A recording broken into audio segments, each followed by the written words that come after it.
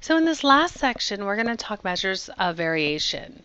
And now what we talk about is really the spread. So I want us to just kind of look at a small data set. I have three sections of the same class and the numbers that you see there are quantitative data and they are quiz scores out of 10. It's a 10 point quiz and those are their points. If we observe closely, we would see that each of these sections have a mean of 5. And they have a median of 5. But then you're saying they all have the same average and they all have the same median, but their data sets look so different. And I would say, yeah. So just because data just because you have the same mean and median, it doesn't mean your data is the same, right? Our data is different. So if the mean and median are the same, it's wise to maybe talk about the spread of the data. For example, let's take the mean of 5. Look at section A. If I asked you what was what is the distance from the me, from the mean of the with these scores. So if the mean is 5 and all these scores are 5, is there any distance between these scores and the mean of 5? You're like, no, they're all the same. Like it's a mean of 5 and all scores are 5. Right. So we would say something like, well, that means that these, well, I would say this first one, there is zero spread. Right? There's no difference between the mean and the values of the quizzes in section A. What about in section B? If I put 5 here, how far is 5 from 0 and how far is 5 from 10? Well, from 0 to 5 is 5 points, and from 5 to 10 is also 5 points. So wouldn't you say here the spread is going to be 5? So there's a 5 point spread here from the mean. Okay. The last part in section C, if I put 5 here, here's 5, what's the distance from 5 to 4 and 5 to 6? So from 4 to 5 is 1 point, and from 5 to 6 is 1 point, and we can see that there's a 1 point spread here. And you're like, okay, what's your point? Ugh, right? Well, that you can have three totally different data sets, have the identical mean and median for all of them, yet their spread can be different. And exactly what it is. So this is what this section talks about. It talks about the variation from the mean, okay, from the middle. Okay, so these mean and medians can happen, but the spread is really the part that is the variation between the mean and what's happening with the data. We have three of these that talk about it. It's the range, the standard deviation, and the five number summary. So um, for the range, the range is quite simple. So that's just taking the largest value of your data set and subtracting the smallest, and it's that easy. So the range here will be equal to the largest value, which was 399, minus the smallest uh, cost of a jar, which is 329. And so that ended up being how many cents? 70 cents. So here's the range, numerical value, and then we could say that the prices of a peanut butter range 70 cents. Something like that. Or have a range of something like that. But really it's just you're saying that the range of the data is 70 cents. Okay, the second part is the standard deviation. The standard deviation is exactly what it is. It's exactly what we just did up here. It is called the average distance from the mean. the standard deviation is the average distance from the mean. And that's really what it is. So the standard deviation, we have a nice little sigma symbol. So this symbol here is actually called sigma in Greek. And really what it is is a lowercase s in Greek. We can do that or put SD for standard deviation. Um, it's however you want to use it. I like sigma because it's simple rather than write the entire phrase standard deviation. Okay, and essentially all it is, as it states here, is um, how it deviates from the mean, the average distance from the mean. So if it's distance, then it has to always be positive because the po distance is always positive. And if all the values are equal, there is no deviation from the mean. That's like section A, right? If the mean is are all the values in the data, then it, there's no spread.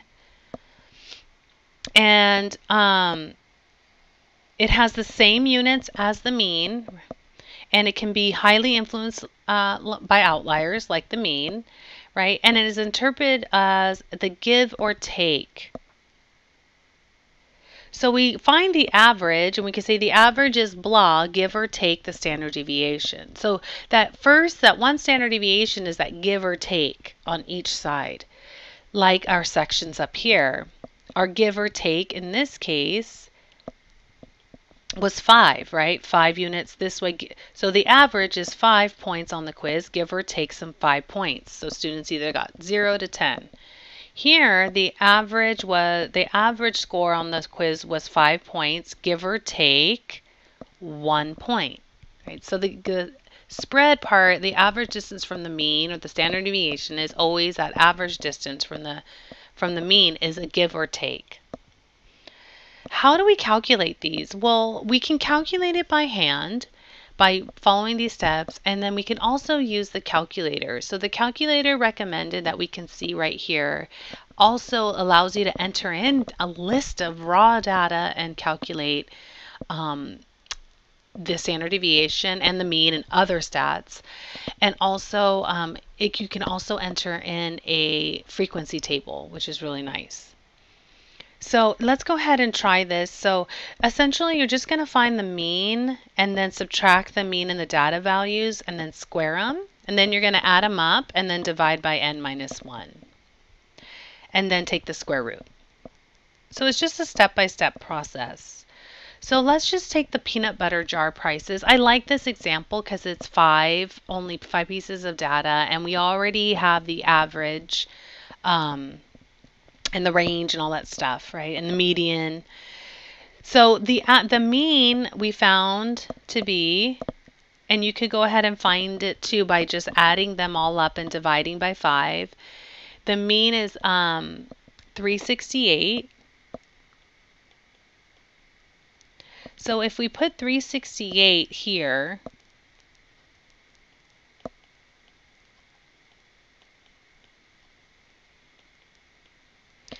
Then we subtract each data value minus the mean. So we're going to take this minus this and put it here. This minus this, put it here. And don't worry if it's negative or positive or whatever. It doesn't really matter in the end because we're going to square it anyways next. So if I were to subtract those, I could go to my calculator and put 329 minus 368 and get negative 39 cents. And then hit 359 minus 368 and negative 0.09. And then 375 minus 368. And if you can do this in your head, because you're really, I know some of you by your forums that you guys are great at cash back, you know, counting cash and coins. So do it in your head if you can.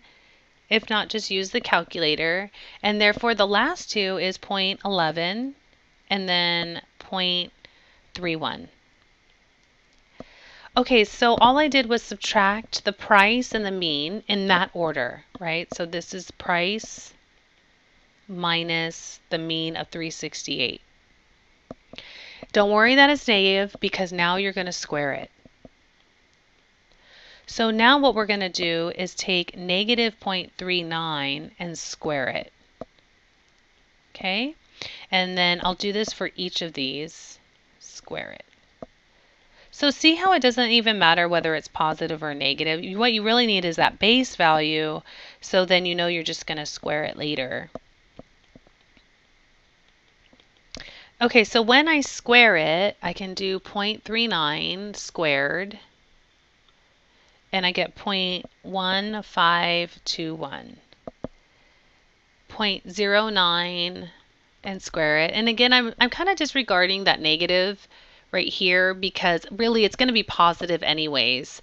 So I'm just going to put 0.09 squared because it's the same anyways. So if I put parentheses negative 0.09 parenthesis and square, notice I get the same value anyways because it's just going to be positive because you're squaring it. Okay, so the next one, 0.0049, and you can just keep doing this 0.0121, and then the last one is 0.0961.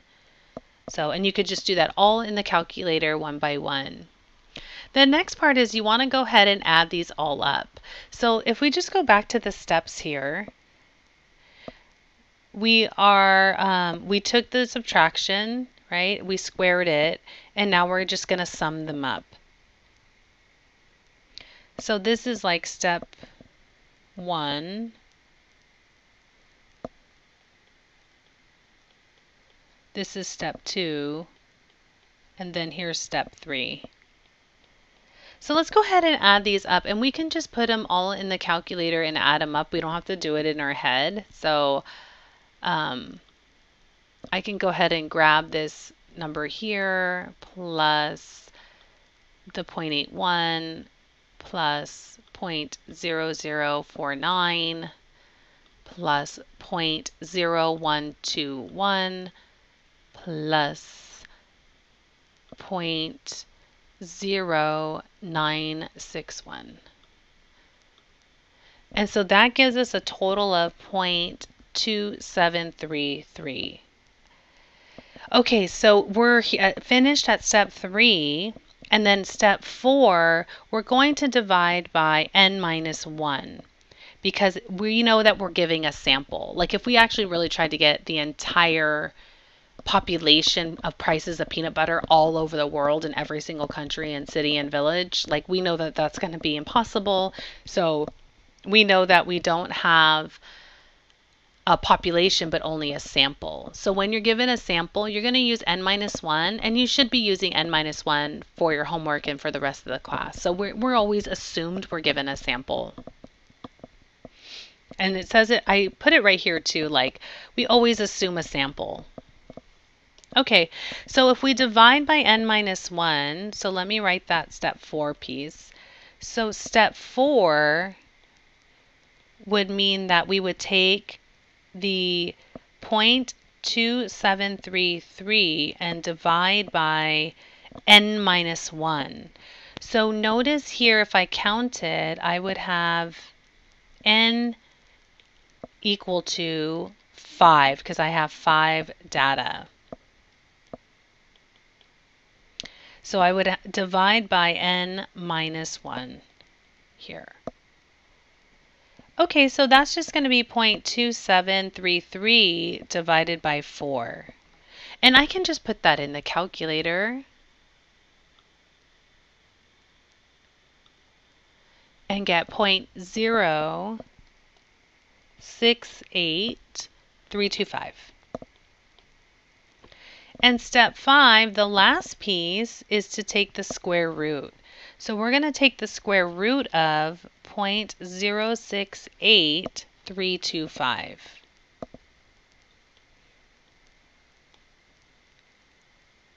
Okay, so the standard deviation, we can put SD or we could put sigma, however you want to put it. So is equal to, and then let's take the square root. So how we're going to take the square root in the calculator is by using green with green. So here's my square button, but then here's the square root button. So I'm going to hit second square root. So see how it displays that? And then I'm going to move my arrow up and highlight the previous answer and hit enter and then close the parenthesis and hit enter. And the reason why I did that is so I didn't have to make an entry error, right? Maybe I missed, I put 8 6 instead of 6 8, you know. So if I just copy and paste from the exact calculator, then my error, I don't have an error. And so when I do that, I get 0.26139. I'll stop there. Obviously, it can go on. But recall that if I go back to the properties of standard deviation, I do know that it has the same units as the original data. So that means the units of my original data is going to be dollars, right? Because they were prices of peanut butter jar. So if this is going to be dollars, I'm going to go ahead and round to the nearest cent.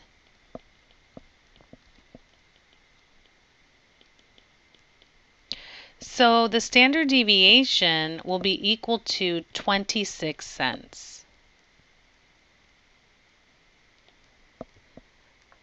Okay, and so if I wanted to interpret um, this with given the mean here, and then given the standard deviation here, I could say something similar to what I have up here in my box where it says I could say the average peanut butter cost is blah and give or take this many cents or whatever.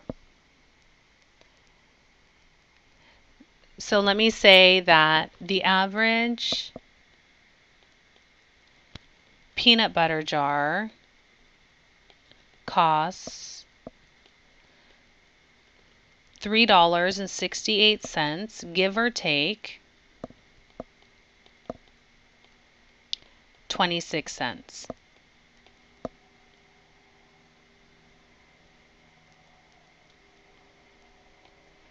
And so we just go ahead and rewrite that average is blah, give or take standard deviation. So in, I write it in context of the scenario. I use the units in the scenario. So the average peanut butter jar costs $3.68, give or take 26 cents. And that, that is like language that's communicating my math and numerical stuff and stats into something where I could talk to anybody about what I'm doing with peanut butter jars. So really it's about the language and communication part when we interpret.